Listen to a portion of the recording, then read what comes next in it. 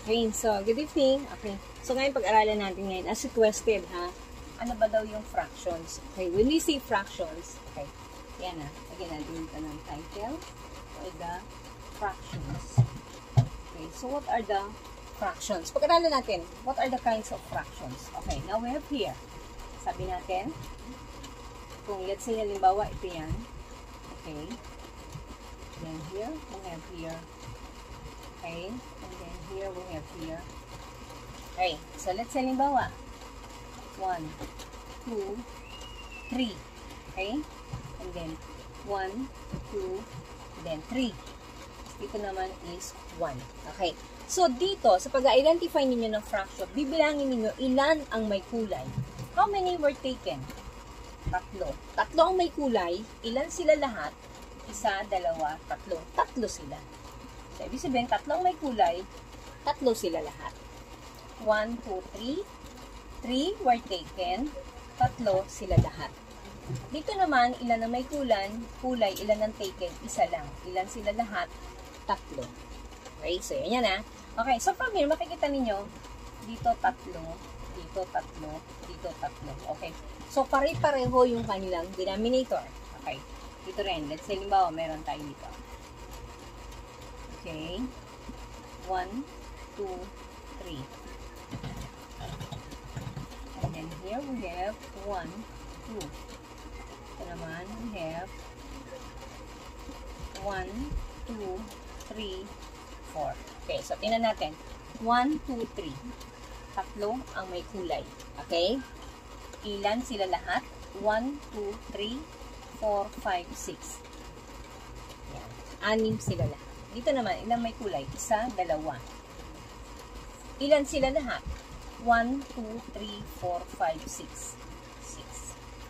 6. Dito, 1, 2, 3, 4. Apat ang may kulay. Anim sila lahat. So, what have you observed? Kung mapapansin ninyo dito, pari-pareho ang kanilang dami. Okay? Pare, pare-pareho. They have the same denominators. Okay? When you see na ang kanilang denominators ay pare-pareho, this is what we call the uh, ha? Uh, similar. Similar fraction. Okay? Bakit similar fraction? Kasi pare-pareho sila. Okay? Now, tingnan naman natin. Kung let's say, halimbawa, aha, gumawa tayo dito, halimbawa ng, okay, gumawa tayo dito, halimbawa ng 1, 2, then 3. Ito naman ay 1, 2, and then ito naman ay 1, 2. Okay. So, this is now 1, 2, and then 3. So, ilan na may kulay? 1, 2, 3. Ilan sila lahat? 1, 2, 3, 4, 5, 6. 3 over 6. Dito naman, 1, and then 2. So, ilan na may kulay? Dalawa. Ilan sila lahat? 1, 2, 3, 4. Okay? And then here, we have, yan. Ilan na may kulay? Isa lang. Ilan sila lahat? Tatlo. Okay, so from here, makikita nyo, ang denominator niya dito ay 6, dito ay 4, dito ay 3. So, iba-iba. So, this is what we call the this similar fraction. Okay? Okay? Now, dito, kung mapapansin ninyo, meron dito tatlo ang may kulay or three were taken and yet ilan sila lahat? Tatlo din.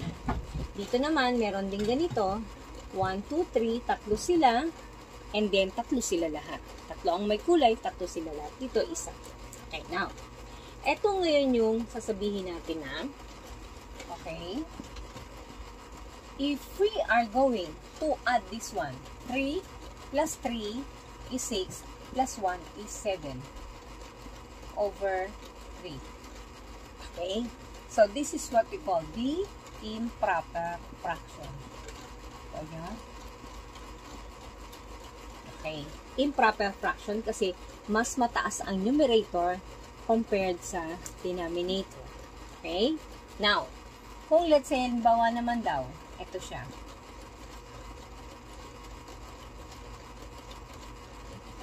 Okay. 2 and then 3. Okay, so dito meron tayong 3 over 1, 2, 3, 4, 5, 6, 7, 8. 3 over 8. Ito ang uh, proper fraction. Okay? Nakuha nyo? Okay, now, kung dito, ay wala na. Kung dito, meron kayo ditong 3 and 3 over 3. Okay? So, this 3 over 3 is considered as 1. Ito rin, 3 over 3 is considered as 1. Okay, now, 1 plus 1 is equals to 2. Okay? Meron ka ngayon ditong 1 third, kaya 2 and 1 third. Itong tinatawag nating 2 and 1 third, this is what we call the mixed number.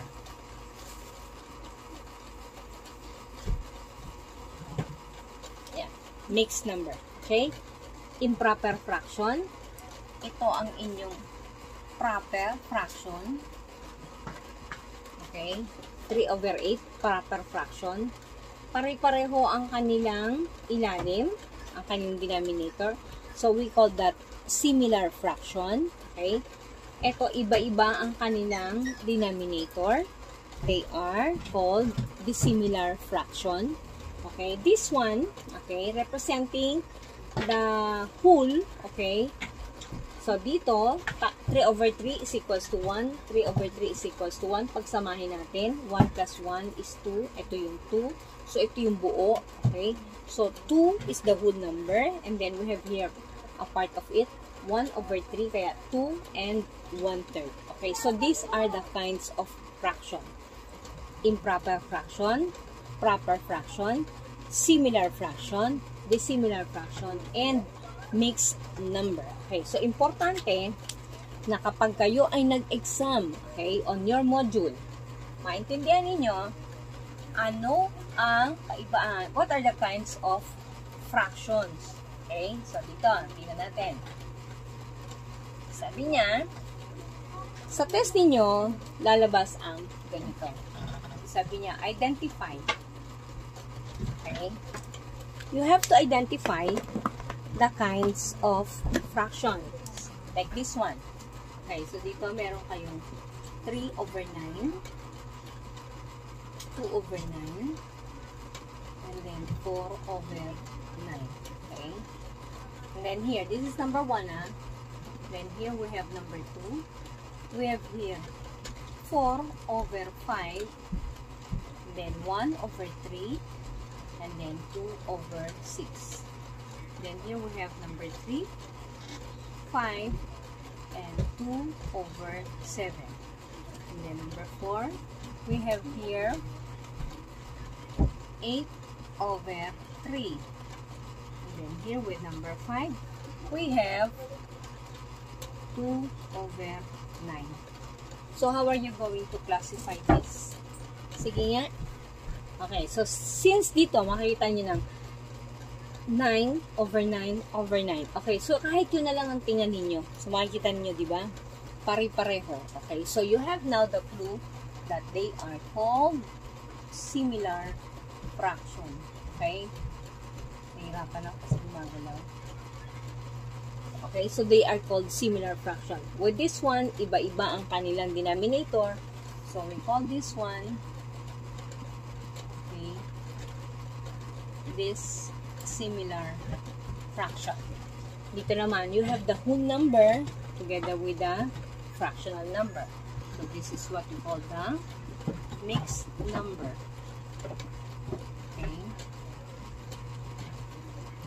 then here we have 8 over 3. Okay? So, paano ba ninyo ipapakita yung 8 over 3 na yan? Ganito yan ha. 1, 2. 1, 2. Okay, so ito yan. 1, 2, 3. 1, 2, 3. 1, 2. Okay, paano yan? Dito, 3 over 3. Okay, 3 over 3. Dito naman is tatlo sila, tatlo rin ang may kulay. Dito, dalawa ang may kulay, tatlo sila. Yun, no? Pa-plus nyo lang. So, this is now 3 plus 3 is 6 plus 2 is 8. Okay, so this is now what we call the, yan, 8 over 3. Ito ang representation ng 8 over 3. Okay?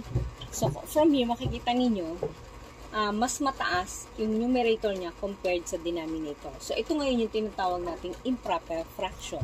Okay?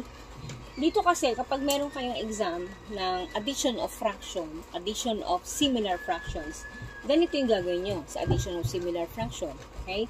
Now, dito makikita ninyo, 8 over 3, mas mataas yung, denominator, yung numerator kasi denominator, kaya this is what we call the improper. Okay? Improper fraction. Now, this one, dito naman, 2 over 9, okay? Ito yung tinatawag nating proper. This is what we call the proper fraction. Okay? So, kapag ito lumabas dun sa exam ninyo, ganito kagad yung gagawin ninyo. Okay?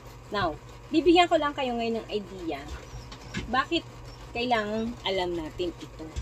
Kasi, as you go along the way, magkakaroon kayo ngayon ng exam.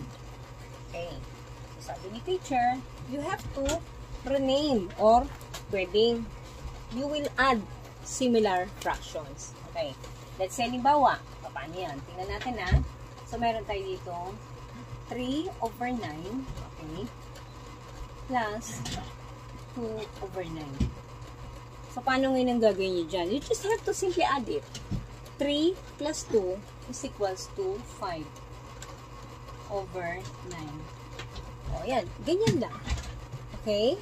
Now, kung let's say, limbawa, we have here 4 over 7 plus 1 over 7. Okay, so you would notice here, they have the same denominator. So, we classify this one as uh, similar fraction. Okay, so when, when we encounter similar fraction, you just have to add the denominator. So, 4 plus 1 is 5 over 7. O, yan na yan. Okay, yan na yan. Okay, so, kung meron kayo ditong 3 over 10, okay, plus 2 over 10, okay, so how are you going to add this one? So, 3 plus 2, this is 5, okay, so ang denominator nila is 10, okay, so yun, simply 10, okay, now, kung let's say, meron naman kayo, na let's say, limbawa, sabi niya,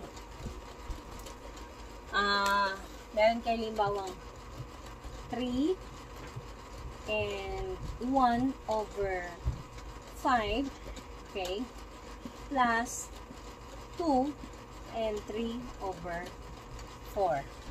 So, paano kaya ninyo gagawin yan? Okay? So, dito kasi kailangan alam natin ang least common denominator natin. Okay? So, ngayon, since uh, we're lacking of time, okay, I'm just going to discuss that sa next video ni Ate Glo. Okay? Para hindi kayo mahirapan, no? Kasi mahirap yung uh, nagmamadali tayo sa oras, no? Okay. So, ang uh, masasabi ko lang sa inyo, if you like the video ni Ate Glo, mag-comment po kayo sa ibaba. Okay? Possibly, pag uh, uh, ilagay ninyo kung ano yung next subject na gusto ninyong matutunan sa susunod para noon patuloy namin kayong matulungan